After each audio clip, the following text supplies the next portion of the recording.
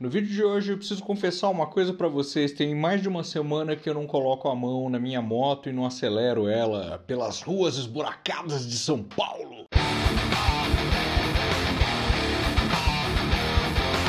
Olá pessoas, tudo bem com vocês? Tudo bom? Meu nome é Carlos Gonzalez e antes de mais nada, isso aqui não é um canal de moto igual esse que você está acostumado a seguir por aqui e se entreter no YouTube. Nesse canal de moto, além de eu falar sobre motos, além de eu falar sobre novidades de vez em quando, eu partilho muito da minha biografia e eu sinto que, cara, é um dos momentos que eu mais curto aqui nesse canal, de falar sobre mim. Por quê? Porque o chato é aquele que fala de si mesmo. Você tá ligado que às vezes é bom você falar de você mesmo, não é? Para as pessoas que você gosta, é o que eu tô fazendo. Você gosta de pessoas, eu gosto de pessoas. Olha só, a gente se parece por conta da similaridade. Se inscreve aqui nesse canal. Senta na garupa e vambora. Motoqueiro raiz e malvado com uma filha de 5 anos de férias. Você sabe uma coisa que eu percebi? Conforme a minha filha ela foi envelhecendo, um ano de idade, dois anos de idade, três, quatro e agora cinco, a cada ano fica mais difícil as férias da criança, cara. Não, eu não tô reclamando, eu adoro, eu acho muito massa, eu me divirto e tudo mais. Inclusive agora eu tô ensinando matemática para ela, e ela tá adorando, um orgulho do pai. Mas eu confesso para vocês que tá complicado, tá? É, é difícil, hein? É difícil. E aí basicamente o que que me sobra? Me sobra gravar e editar vídeo durante as madrugadas, né? Vídeo, esse vídeo aqui que você tá assistindo para se divertir no YouTube. Só que às vezes quando chega de madrugada, cara, eu tô tão sugado, eu tô tão extenuado que, meu amigo, eu não tenho coragem de ir lá na minha motoca, colocar a chave no contato, virar e sair loucamente pela cidade. E aí aquele esquema, liga a moto, coloca a câmera no capacete, acelera e a ideia não vem, porque o teu cérebro ele foi fagocitado pelo cérebro de uma criancinha fofa que dança balé. Que anda de bicicleta com capacetinho rosa, na bicicleta de segunda mão que a gente comprou igualmente rosa. E aí eu poderia criar um vídeo inteiro falando das agruras de um pai que cuida da tua criança em tempo integral. É o meu caso, não é mesmo? Eu acordo com ela, eu almoço com ela, eu passo a tarde com ela e não é raro eu fazer a rotina do sono dela. Tenho mil histórias, mil aventuras, mil agruras. Poderia ser um vídeo de reclamação, mas na verdade é um vídeo de gratidão mesmo, sabe? Porque pouca gente tem a oportunidade que eu tenho de de fato estar tá do lado da pessoa que você mais ama durante muitas horas ao longo de um dia. E não, não é sempre que eu venço todas as batalhas batalhas, às vezes eu perco e às vezes eu falho, no sentido de produzir conteúdo aqui no canal. Às vezes eu realmente não consigo. Semana passada foi o caos na minha vida. Semana passada, de repente, o mundo à minha volta olhou e falou assim: Nossa, o Carlos ele é importante, precisamos do Carlos. E aí o Carlos foi para tudo quanto é lado para tentar fazer com que as pessoas vivessem uma vida mais feliz. E tá tudo bem porque esse tipo de coisa eu também faço com o coração aberto e com o peito aberto. Essas aventuras, as quais a gente tem oportunidade de passar ao longo da vida, elas são passíveis da gente de vez em quando rir, transformar numa piada? Claro que sim, mas cara, quando a gente olha para trás, a gente pensa, cara, ainda bem que eu tava lá, ainda bem que eu fiz isso, ainda bem que pessoas puderam contar comigo. Afinal de contas, em alguns vídeos passados, talvez muitos, eu disse que o meu papel na humanidade, pelo menos da forma que eu me enxergo, não é mais o grande salvador do mundo. Eu sou só a escada. A escada é aquele objeto que você usa para chegar a algum lugar. Eu não sou o lugar, eu sou só a escada. E tá tudo bem, cara. Nunca imaginei que não ser o protagonista e ser simplesmente uma escada me fizesse tão bem. E tem me feito, tem me feito bem, tenho vivido muito feliz com isso. Fico feliz em ser escada para minha filha, ser escada para os meus pais, ser escada para a mulher que eu amo, que é a minha esposa, ser escada para os meus amigos, ser escada, whatever, para quem quer que seja. Quando eu era novinho, eu não queria ser escada, eu queria ser o destino, eu queria ter lá a minha importância, o meu protagonismo. Eu fui envelhecendo e fui perdendo isso. E no que isso se relaciona com motocicleta? Motocicleta, veja bem, eu abri esse vídeo falando que tem mais de uma semana que eu não coloco a chave no contato da minha moto, giro e vou, cabelos ao vento, muito louco, cantando cantando Born to Be Wild, cantando Simple Man na minha moto com farol redondo, toda clássica, simulacro de uma moto clássica. Não, não tenho feito isso, tenho ficado em casa e às vezes tenho sido sugado pela materialidade da minha própria vida. Eu reparei numa coisa muito louca. Eu voltei a pensar em viagens, em fazer viagens de moto, tal, mas eu tenho esta outra vida, né? Eu não consigo ser só o motoqueiro solitário, o motoqueiro malvado, o motoqueiro barbado, o motoqueiro cabeludo, o motoqueiro tatuado, o motoqueiro com bandana na cabeça. Eu não consigo ser só essa pessoa. Conforme eu fui amadurecendo, eu percebi que voltar para casa é algo muito mais importante do que era 20 anos atrás, 10 anos atrás, 15 anos atrás. Não só por conta da filha que eu tenho, não só por conta da esposa que eu tenho, mas porque a vida que eu vivo hoje, devendo para o banco, devendo para cartão de crédito, sem saber se eu vou conseguir fechar o mês, ainda assim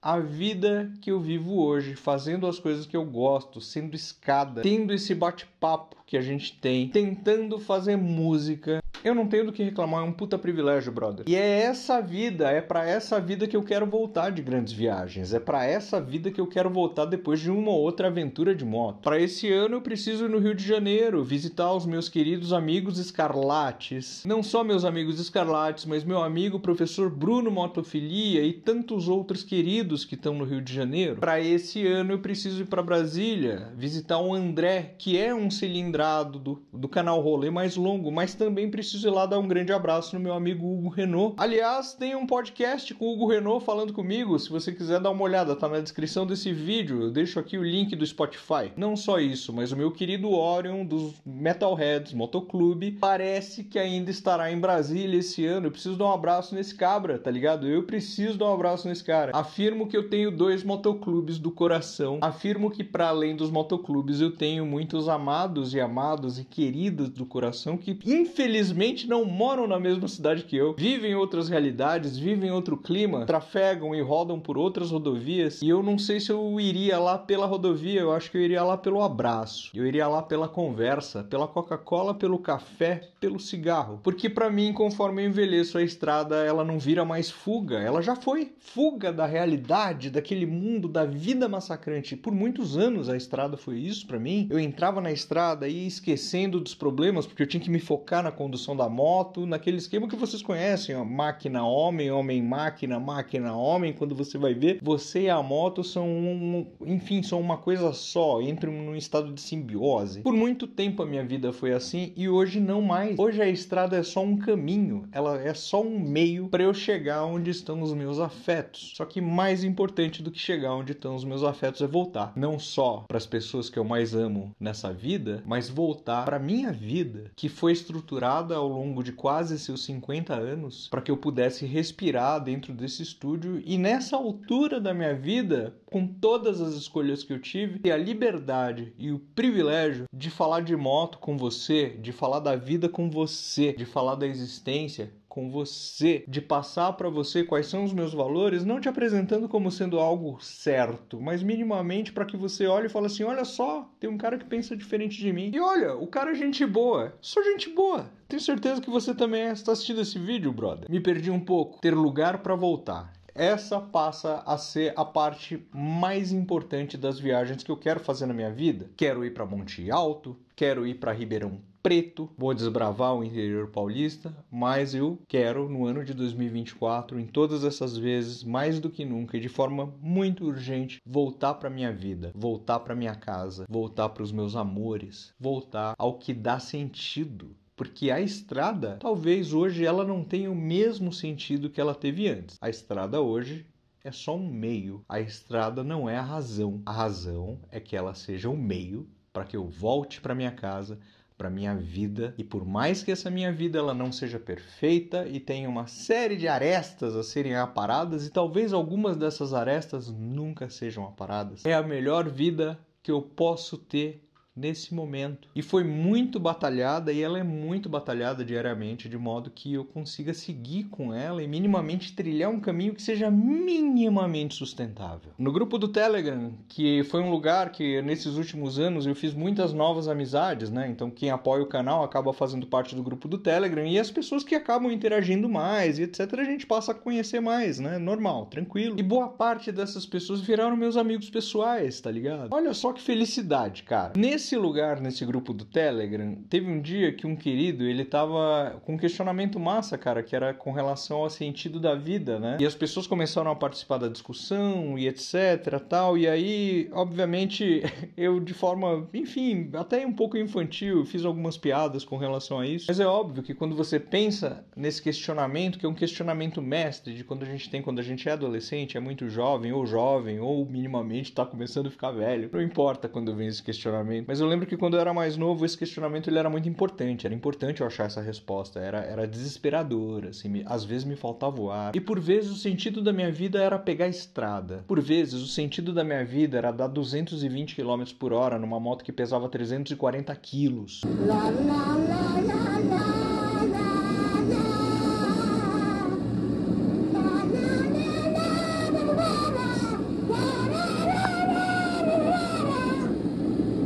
vezes o sentido da minha vida era dar 230 km por hora com uma moto de 1.200 cilindradas, com dois cilindros em linha.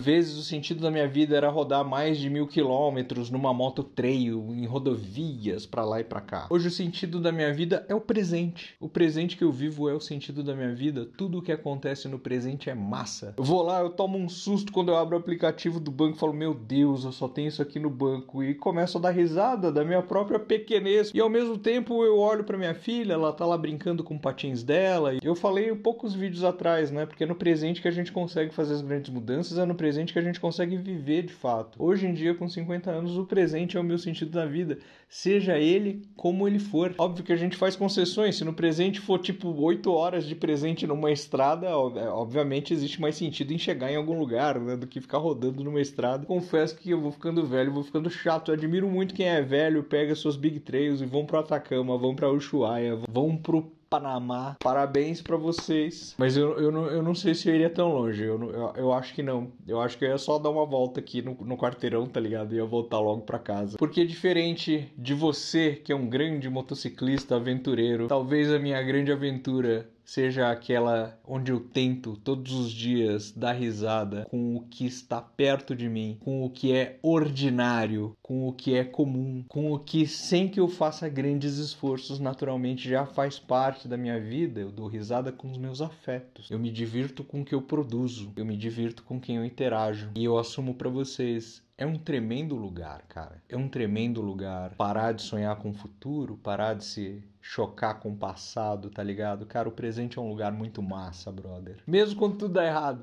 ainda assim é um lugar massa, é engraçado, é legal ter bom humor. É legal ter bom humor, olha aí. E é isso, meus queridos. Essa semana é uma semana pesada, é uma semana com muitas coisas ainda. Minha filha ainda está de férias, ainda bem. Minha esposa chega em casa eu falo, ah, eu tô cansado, eu tô isso, tô aquilo. Mas a gente fala rindo e tá tudo certo, e a vida é isso. E eu, do fundo do coração, espero que você consiga sorrir tal como eu sorrio. E se você não consegue, fica tranquilo. Fica tranquila. Tá tudo certo tá tudo certo. A gente vai capotando pela vida, daqui a pouco quando você vai ver, olha só, esse lugar aqui é legal, acho que eu vou ficar aqui, acho que eu vou ficar aqui. Aí, Pode ser, quem sabe, não sei. Palavras ao vento, vídeo solto, só para dar alguma satisfação para vocês, num dia que foi especialmente feliz para mim. E vocês, meus queridos, como é que vocês estão? Vocês estão naquela de que vocês precisam muito da estrada, é a estrada que vai fazer com que vocês se desliguem dos problemas ou da vida ordinária que vocês levam ou não? Ou a estrada ela é só um meio? Ou ela é as duas coisas? Escreve aqui no comentário, eu adoro ler o comentário de vocês. É massa porque o comentário é a extensão desse nosso bate-papo, adoro, eu leio todos e os comentários que eu leio leio e curto, gosto, eu coloco um coraçãozinho. Olha só, que fofo. Sem contar que é o comentário e o like de você que vai fazer com que o YouTube distribua esse vídeo para pessoas que não me conhecem ou para aquelas que já se esqueceram de mim ou que tropeçam em mim de vez em quando. Enfim, dá essa força pro canal. Falando em dar força pro canal, é a partir da área de membros e o apoio dos membros que eu